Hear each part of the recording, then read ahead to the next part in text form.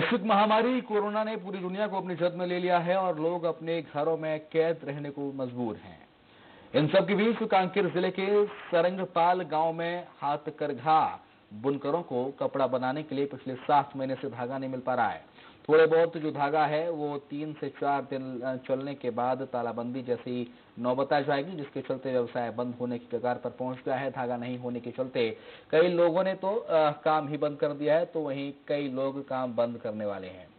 मन की असरी में बुनकरों की शिकायत है कि उन्हें अब तक एक बार भी धागा नहीं मिल पाया है। सरंगपाल गाँव में दो बुनकर संपत्ति समितियाँ संचालक हैं जिनमें काफ़ी लोग जुड़े हुए हैं।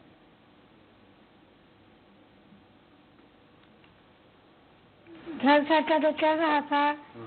वो बहुत अब दिक्कत जा रहा है चलाने के लिए घर खर्च चलाने के लिए। क्या वेतन वेतन भी नहीं मिल रहा है।